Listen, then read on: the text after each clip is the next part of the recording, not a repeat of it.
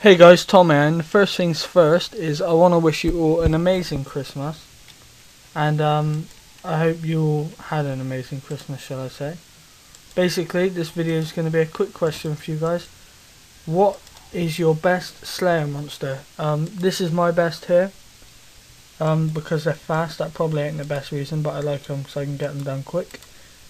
Um, and my worst, because we're going to do best and worst, is probably the desert worms or jungle worms. I just never really took a liking to them, to be honest with you. And hopefully you guys will leave a comment for me to read and tell me what your best and worst is. I'm looking forward to reading them. So if you guys could um, definitely, please, please, please leave a comment. I'll be entirely grateful. Okay guys, um, so let's do a summary. Glad you had a good Christmas. Hope you hope you had a good Christmas, shall I say. What's your best and worst Slayer monster? And uh, just a little bonus, thanks for subscribing. Thank you, peace.